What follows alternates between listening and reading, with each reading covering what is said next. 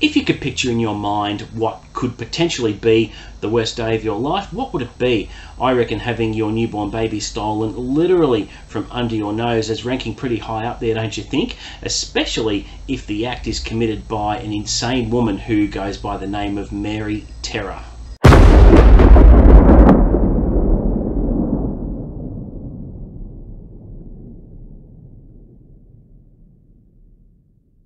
What's up guys, welcome back to Unlimited Reads. My name is Chris and today I'll be doing my spoiler-free review of Mine by Robert R. McCammon. This is the fourth book of McCammon's that I have read and this year alone I've already read Boy's Life, Swan Song and Blue World which was his collection of short stories which is absolutely brilliant. I enjoyed all those books and this one really was no exception. It is so intense, it had me on the edge of my seat all the way through. So let's start with what the plot's about. So it's about a deranged woman who is severely delusional. She lives in the 1980s but dwells back uh, to the past where she was a 1960s Berkeley radical and uh, she fell in love with the leader of their little terrorist group who she calls Lord Jack and she believes that he will love her again if she brings him their son. So she's really not well in the head. Now she thinks that a message has been left for her in Popular magazine summoning her and she believes the message is from Jack who is still alive who she thought was dead. So she launches her own mission by brazenly stealing a newborn baby from a maternity ward, which was pretty bold, and claiming the baby as her own son. And then she uh, starts a journey across America, uh, ultimately to Northern California, where she believes that Jack is still alive, and she believes there's going to be this big happily ever after. She'll rock up on his doorstep and present to him their son and believes that they'll live happily ever after, which uh, you can't get much more delusional than that. So things begin to really escalate with uh, a deadly pursuit as the mother of the stolen baby, Laura Clayborne, tries to get her son back uh, without the help of the authorities or the FBI or the police, which seems like it's an impossible task, and it is in some respects because Mary Terror is very, very clever. She's evasive, she can blend in and disappear if she really wanted to, but ultimately, uh, her mission will not end well if she fails. Her ultimate goal is to get the baby to California to Lord Jack and if that doesn't happen if she does get apprehended she has vowed to shoot the baby and take down as many police as possible with her. Now I have to rip the band-aid off here and I'm not going to bullshit you. Uh, when you first open the book and you read the first opening scenes they are very very confronting. So uh, just a word of warning there but I would urge you to read past it uh, just trust me on that because uh, it just gives a really good look into how disturbed Mary Terror's mind is and uh, how she uh, is mentally ill and deranged and insane. And it's uh, illustrated very very well by McCammon but at the same time it's um, quite difficult to read. But uh, I urge you to get through it.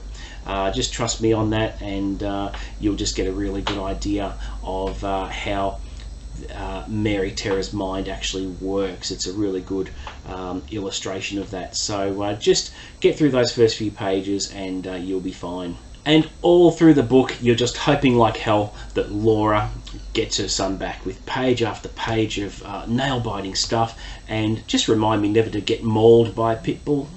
no spoilers, but uh, yeah, that wouldn't be a, a pleasant experience, let me tell you. It's full of violence, shootings, car chases, and a desperate race against time.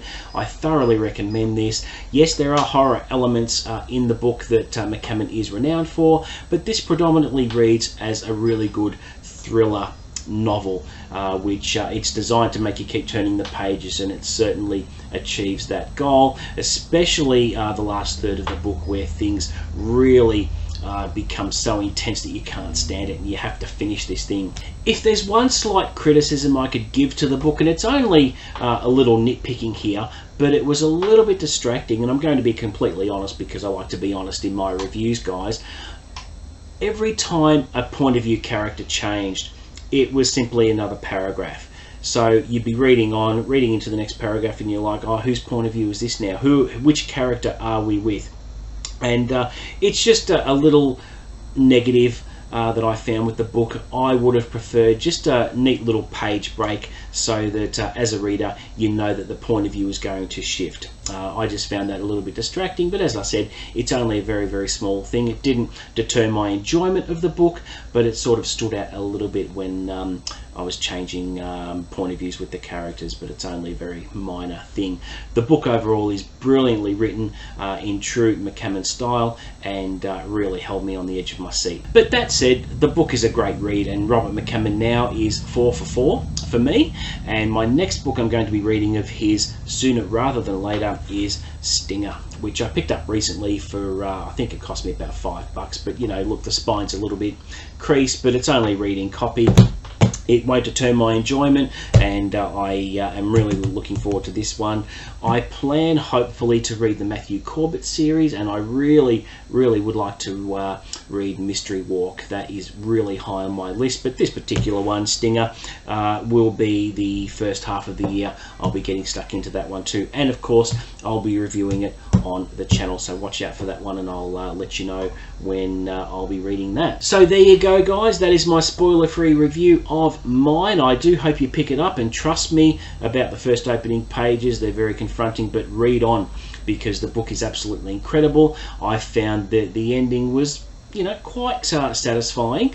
The best thing is the ending wasn't rushed uh, there was a hell of a climax, which was great, and I just really liked how the end of the book turned out. But uh, this is a spoiler free review, so I'm not giving anything away, but you have to uh, read it for yourself to find out what happens. So, please don't forget to like and subscribe. Offer up any comments below. Uh, if you've read the book, let me know what you think. But until next time, guys, I'll see you later.